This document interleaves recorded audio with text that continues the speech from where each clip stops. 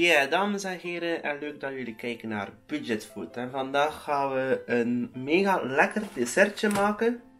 Het heeft te maken met, jawel, chocola. Mm -mm -mm. Wat hebben we allemaal nodig? We hebben chocola nodig, uiteraard. En ook zeer belangrijk. In dit zakje zitten er lekkere dingen. Deze. Ehm, normaal gesproken neem ik altijd deze, maar ze hadden die niet in de winkel. Dus heb ik dit gekocht. En de grap is dat dit goedkoper is dan dit. Maar uh, ik heb ze wel nodig, deze. Want dat zijn chocoladeparels. En jawel, dames en heren. Dat is lekker. En dat gaan we daarin doen. Wat hebben we nog nodig? We gaan hier een keer in onze diepvries kijken. En we gaan Jawel. Boter uithalen. 100 gram boter hebben we nodig. Is het een beetje minder, dan is het een beetje minder. Maakt niet echt uit. En wat hebben wij nog nodig? We hebben ook bloem nodig. Zie je? Bloem. Hebben we ook nodig. We hebben nog iets nodig. Niet te vergeten. Suiker hebben we nodig. En we hebben nog iets nodig. Niet te vergeten. Eieren eieren, eieren, eieren. Ja, die heb ik hier. Eieren. Zo. Dat hebben we allemaal nodig. En dan gaan we daar het recept vanaf leggen. Misschien staat er hier op die doos een, leuk receptje op. Maar, uh, oh ja, receptideeën. Smerige chocolademousse, nee. Snelle chocoladesaus, nee. Chocolademelk, nee. En het enige wat wij gaan maken, of ik toch ga maken en dat jullie het misschien achtermaken aan de hand van deze video, staat er niet op. Zeer belangrijk dat je ook in bezit bent van een weegschaal. Deze heb je momenteel nodig. Een weegschaal, deze. Heb je nodig, is belangrijk dames en heren. Belangrijk, echt waar. En uiteraard een mengkom. Zeer belangrijk, een mengkom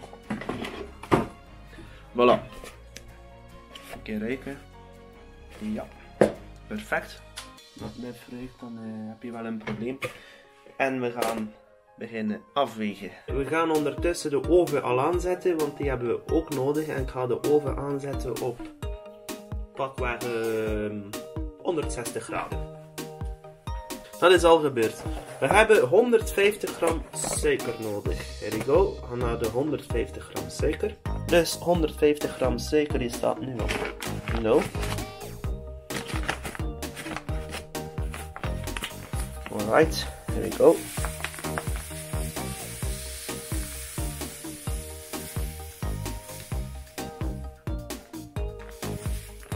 Ja, yeah.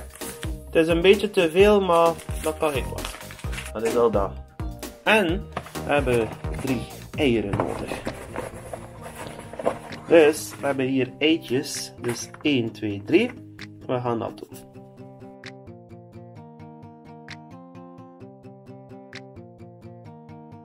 Mensen, zoals jullie zien, ik heb een klopper bij, want met de hand kloppen, dat is niet echt ideaal. Dus we gaan uh, met de machine kloppen. Alright, here we go op stopcontact steken. Yes. En we gaan kloppen, kloppen, kloppen. Altijd een beetje opletten, want van eerst een beetje roeren. En nu mag hij gaan. Zo. En we gaan kloppen, kloppen, kloppen totdat we denken dat het goed is. Goed zorgen dat er hoeveel lucht onder gaat. Dat de eh, traag zeggen. Dus je moet kloppen zoals ik daarnet gedaan heb en zorgen dat er veel lucht onder gaat. En ik ga het voortonen aan jullie. Zo, dames en heren. We gaan ervoor.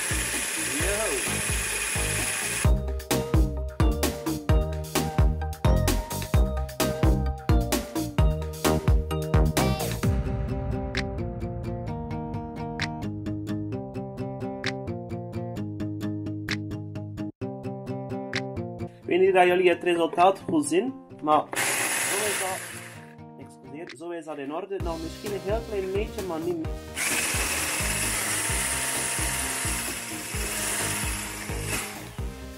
Voilà. En dit is al onze basis van ons gerecht. De volgende ingrediënten zijn 80 gram chocolade en 100 gram boter. Dat gaan we een keertje doen. We gaan natuurlijk een pot nemen, want wat ga ik doen? Ik ga dat een keer zo dadelijk uh, vertellen tegen jullie. We gaan eerst een pot nemen en gaan... We gaan eerst de pot nemen en we gaan wegen. Gewoon erop zetten en dan komt hij op 0. Ik ga dat een keer tonen, zie je.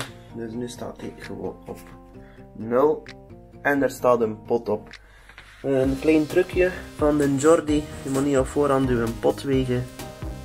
Dus bij deze. We gaan naar 100 gram boter.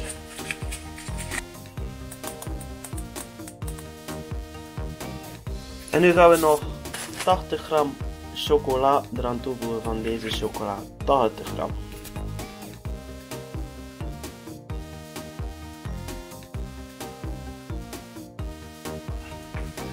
180 gram. Voilà, zie je. Ik kan dit mooi zien, dames en heren. Op de kop. En nu gaan we dit geheel in de microgolf doen. Daar gaat die mm -mm microgolf in. Daar gaat die mm microgolf in. Dames en heren, ik wil graag één tip geven. Als de chocolade warmt in de microgolf met de boter, op zich kan dat geen kwaad, maar eigenlijk is dat niet de correcte manier. De correcte manier is om kokend water te nemen, een kleinere pot te nemen en de boter en de chocolade daarin te doen en dan zo te laten smelten. Ik doe dat niet. Ik ga dat in de microgolf doen, maar let op, in de microgolf kan je chocola verbranden. Doe het uh, op de ouderwetse manier met water laten koken en uw uh, pot erin te doen. Dus een extra pot. Dan is de kans op mislukken heel klein. Maar je moet dan ook wel opletten dat je chocola niet te warm wordt. Ik doe het in de microgolf. Ehm, en jullie doen misschien wel wat anders. We gaan beginnen met een minuutje. Um, wat wil ik bedoelen met een pot en een pot erin? Dat is eigenlijk een soort bain-marie maken dat je moet doen. Dat is zo in elkaar. Dus je stopt hier water in. En dan zet je die pot daarin. En meestal komt hij dan zo hoog. Opletten dat je pot ook niet overloopt, want dat is ook niet echt de bedoeling. En eigenlijk is dit de correcte manier, maar ik doe het niet. We gaan nog een keer kijken hoe is het hier met onze chocolade. Oké. Dus één minuutje is sowieso al een beetje weinig, maar je moet af en toe controleren. Voilà. En wat hebben we nodig als laatste ingrediënt? Dat is 40 gram bloem. We gaan dat nu afwegen. De chocolade die is nog niet bijna klaar, maar we gaan die zo dadelijk controleren. Maar we gaan eerst 40 gram bloem afwegen. We gaan dat eerst doen. Dat is ons laatste ingrediënt dat je nodig hebt. 40 gram bloem. En dan gaan we nog een extra ingrediëntje erbij doen. Ik had al verteld van deze zak. Wel, daar gaat ons extra ingrediëntje in. Eerst 40 gram bloem.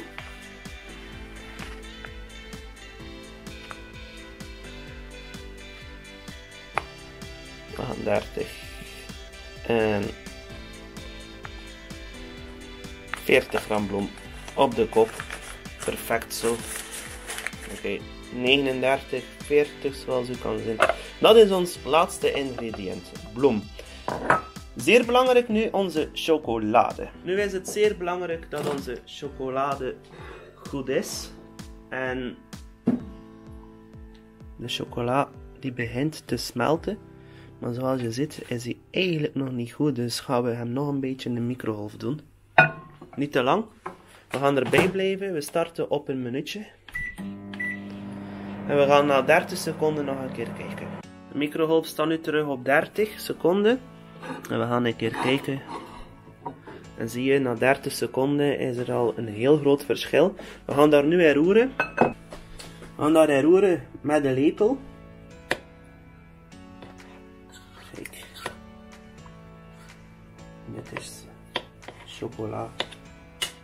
Smelten in de microgolf.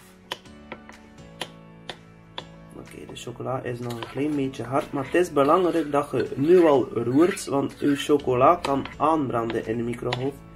En aangebrande chocola, dames en heren, dat is niet lekker. En je zit al met een topproduct. Afrikaanse mensen, die klimmen daarvoor in de boom. Er gebeuren van alle rare dingen met chocola.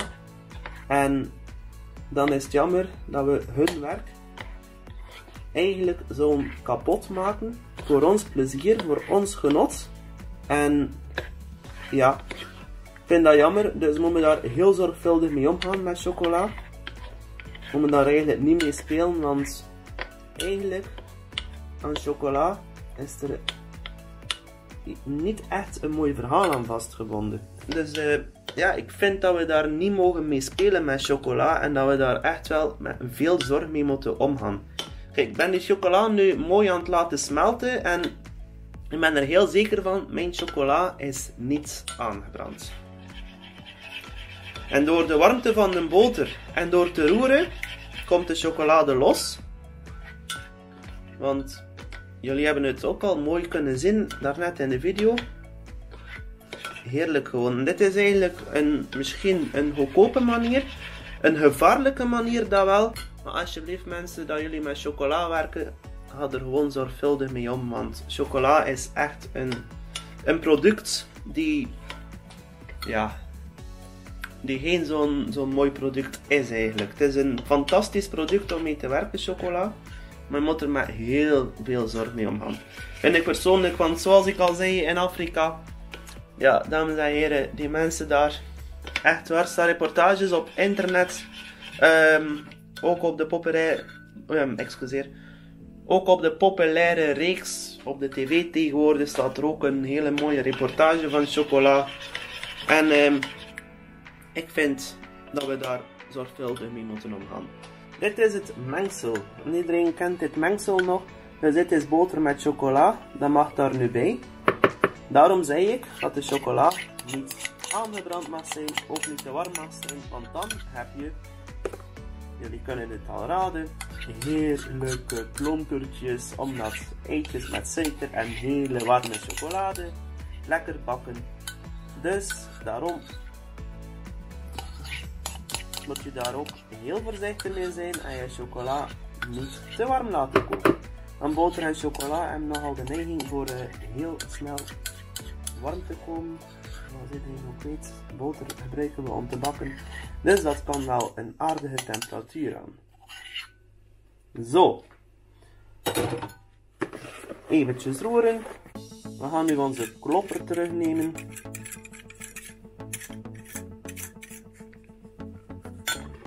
We gaan dan nu lekker omroeren.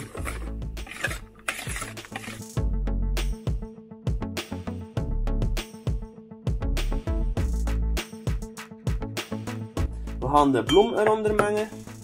Belangrijk dat je een zeefje neemt. Zeer belangrijk. Een zeefje voor de bloem. Daar gaan we.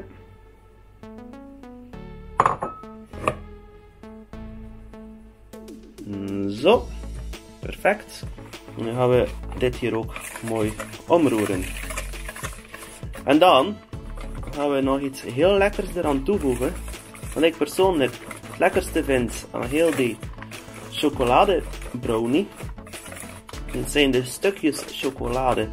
En dat is eigenlijk het ene wat ik het meest van al miste, dat ik het voor de eerste keer maakte. De stukjes chocolade erin. Dus, we gaan ons mengsel nemen, we gaan het op de weegschaal zetten. En ja, die staat nu op 0. Oké, en we gaan daar gewoon 20 gram van die chocoladeparels in doen. Ja, lekker.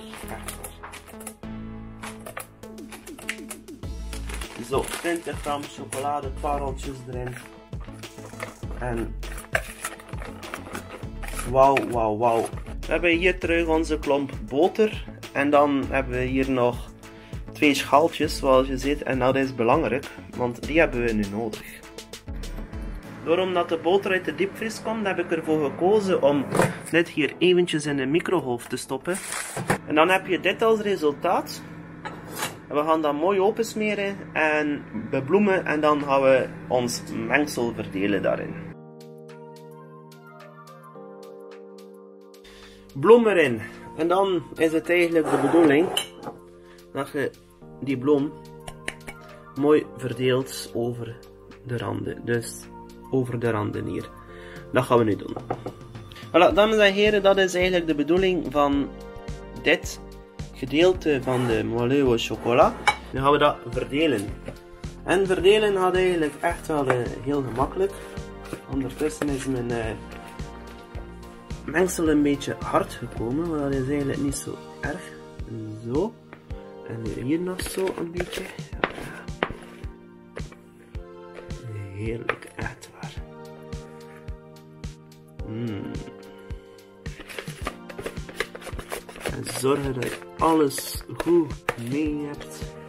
En dan had dat ongeveer een 40 minuutjes in de oven op 160 graden. Mijn oven mocht ik wel wat langer, uh, wat later aangelegd hebben, maar het voordeel is, het is hier altijd lekker warm geweest. En aan alles is er een nadeel, maar ook een voordeel. En mijn oven is ook heel mooi op voorverwarmd. En zo dames en heren, dit is ons mengsel, de Maleu au chocola, maar eigenlijk is dat een brownie. Dan mag nu de oven in, here we go. Zet de oven in en here we go. Nu gaan we dat een 40 tal minuutjes ongeveer in de oven zetten, dat is wel redelijk lang. Maar misschien een 35 minuutjes aan daarmee beginnen. Aan 35 minuutjes. Dit is nu wel een chocolade brownie ongeveer. Maar je kunt daar ook een chocolat van maken, want het is eigenlijk het recept voor een au chocolat. Maar ik laat die gewoon verder bakken en dan heb je een brownie. Dus het enige wat je dan moet doen, ik ging dat net vertellen, is gewoon kleine potjes pakken. Bijvoorbeeld een tas in een moelleux au chocolat. Eigenlijk kan dat ook. Maar dan kun je kiezen, oftewel doe je het in de microgolfoven, oftewel doe je het in de oven natuurlijk. In de oven is dat lekkerst van allemaal. En dat je het in een tas doet, moet je niet echt, ja, in boter kunt dat wel doen, dat je die echt wilt uithalen. Maar dat je op safe wilt spelen, moet je dat niet doen. Wel opletten, je moet wel dingen gebruiken die tegen de oven kunnen. Dus stel dat die tas niet tegen de oven kan, dan heb je wel een groot probleem. Want, dan, ja, dan is hij misschien kapot. Zo, kijk eens aan mensen. De chocoladecake, brownie, wat het ook mag zijn, is al naar boven gekomen. Ik heb mijn oven wat lager gezet in temperatuur. Nu staat die op 140 graden ongeveer. En we gaan die nog 10 minuutjes zo laten doorgaan. Het afgegaan. En nu gaan we een keer kijken naar onze chocolade brownie. Het is belangrijk dat je een droge handdoek neemt, want een natte handdoek zorgt voor verbrand. En dat is uh, niet aangenaam dat je zelf verbrandt. En dames en heren, dan gaan we nog een speciaal trucje doen. Maar eerst gaan we de brownie eruit halen. Of wat je het ook mag noemen. Misschien een te ver gebakken moelleux chocola. Bij deze, dames en heren, let's go! Volgens mij is het echt wel te max. Mmm, oh la la la, kijk eens aan. Mm -hmm. Heerlijk. Zo, we gaan er nu een keer in stekken. En we gaan een keer kijken. Wow. Zie je? Wow. Ziet er echt wel heel goed uit. Want hetzelfde doen hier in deze. Gaan er een keer in stekken.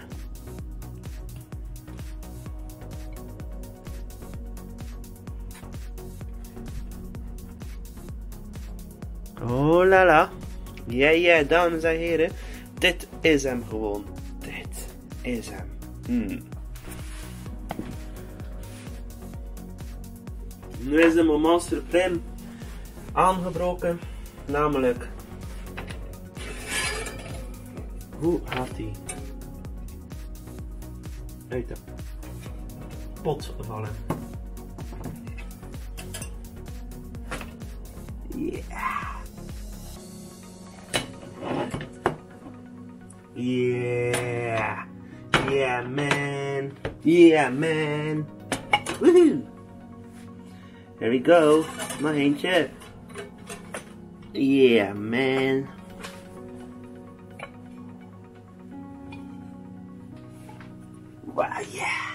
Cool.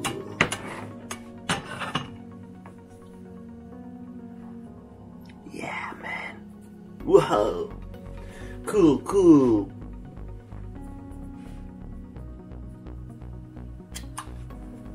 Oh yeah. Nu gaan we nog één iets leuks doen, dat ik persoonlijk het leukste van allemaal vind. Ik ga die nog even een beetje grillen aan de onderkant. Doe ik eigenlijk altijd dat ik dat gebakken heb. En ehm, dat maakt dat extra krokant komt aan de onderkant. Het nadeel daarvan is wel dat je erbij moet blijven. Maar jullie zien het. Hij is echt geweldig. Wow, wow, wow. Yummy, yummy, yummy. Mmm. Heerlijk, echt waar. Ik ga een keer een stukje proeven. Mm Yummy, yummy, yummy. Oh, dat is echt. Mm. Yummy, yummy, yummy. Mm. Het is belangrijk bij het grillen dat ik de oven open laat. Kijk, dan kan dat een beetje ja, grillen, zoals ik ook zei. Yummy, yummy, yummy. Ik heb die even laten grillen. En dit is het resultaat. Nog altijd een beetje hetzelfde. Maar eigenlijk ook niet, want er staat nu een korstje op. Voilà. Het moet niet lang zijn. Uh, ik denk dat ik dat drie minuutjes gedaan heb, of misschien maximum vijf. Dit is het resultaat. Maar hiermee zijn jullie niet tevreden, hè? Dat dacht ik al. We gaan een plank nemen, dames en heren. En ik ga jullie tevreden stellen. Wees maar zeker. Ik ga jullie tevreden stellen. We gaan een maleu chocolatje nemen, of in dit geval een brownie.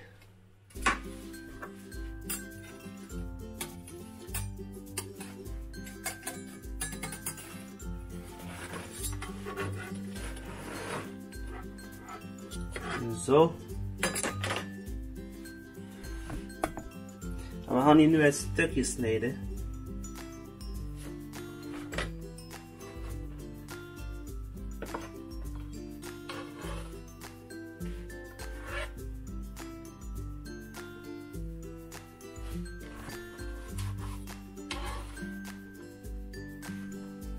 Kijk eens aan, dames en heren.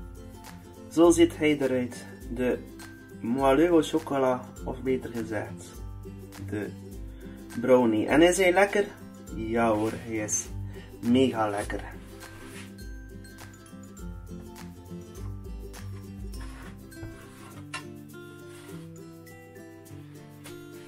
Ik vind hem zo heel goed. Ik vind het de max zo. Echt, uh, ja, mega lekker gewoon. Dus bij deze, we gaan proeven dames en heren. En daar zijn jullie echt wel benieuwd naar. De ultieme serveertip van dit gerecht is natuurlijk met een bolletje ijs. Maar ik heb geen ijs, dus ga me geen ijs nemen.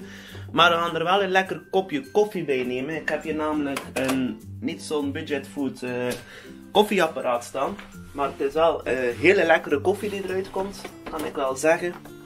Dit is hier zo mijn kast en daar komt de koffie eruit. En ik ga kiezen voor een heerlijke koffie dat ik zelf mega lekker vind. En als jullie het kunnen lezen.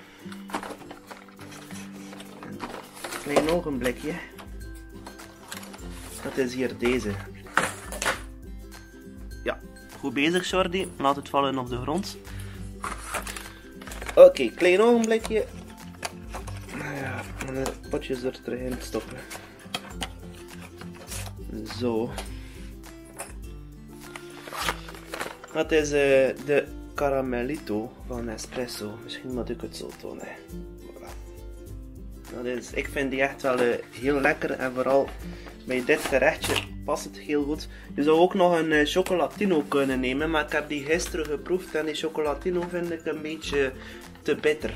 Chocola is wel bitter, maar ik vind hem wel wat te bitter, maar misschien bij chocola dat die echt wel uh, fantastisch lekker is. Maar ik ga toch kiezen voor de Caramelito. Dat eh, is de max gewoon. We gaan een stukje cake eten. En we gaan een beetje water bijvullen ook. Altijd handig. En dan moet dit er zo in. Zo. Je doet het dicht.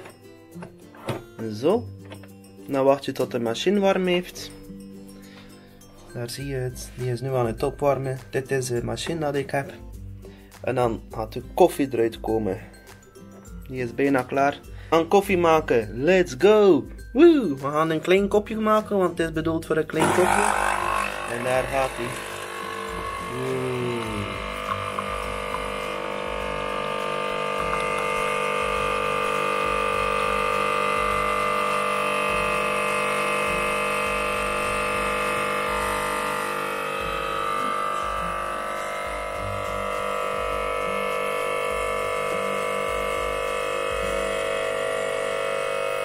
Ziet er toch wel mega lekkere koffie uit, hè.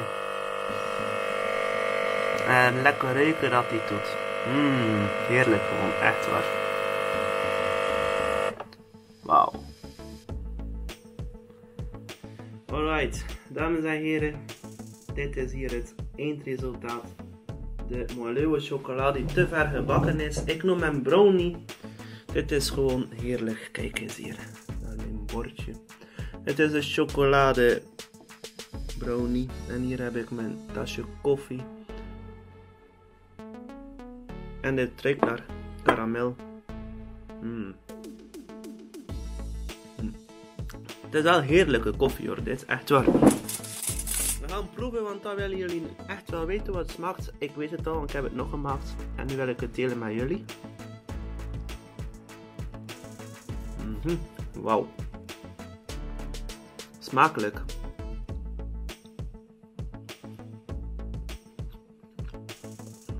Mmm.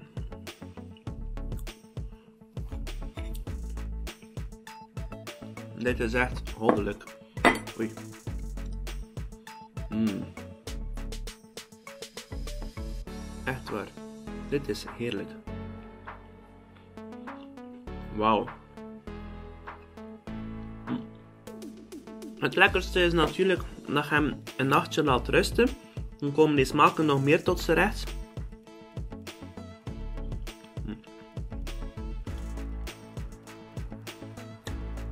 Maar ik had daar geen zin in. Ik had daar nu zin in. Mm. En ik vind het echt... Jam, jam, jam. Bij deze, dames en heren, ik wil jullie graag bedanken voor het kijken naar Budget Food. En vooral geniet van deze brownie. Om een leuke tip te geven, als je dat tegen een, een dag voordien maakt, is die ook wel heel erg lekker. Maar dit is het resultaat van mijn brownie. En ik vind het echt uh, een geweldig dessert. En ik hoop dat jullie dat ook vinden. En hopelijk hebben jullie veel geleerd met kijken naar deze video. Het is wel wat tijd nodig om het te maken. Maar het is zeker de moeite waard. Zeker weten, echt waar. Mmm. Wauw, wauw, wauw. Dit is de max. Mmm.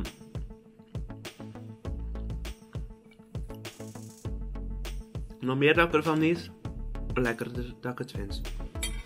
Wel, dames en heren, dit was Budget Food voor vandaag. Thanks for watching everyone. Don't forget to subscribe at this YouTube channel. Vergeet me zeker niet te volgen op de social media.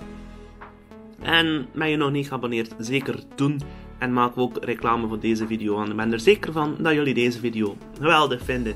Tot een volgende keer maar weer. En dag. Dit is Budget Food. Dit is gewoon mijn chocolade brownie. Kleine serveertip. Een klein stukje. Want het is wel zwaar. Chocolade is sowieso zwaar. Smakelijk. Ja, en deze koffie uiteraard. Mmm.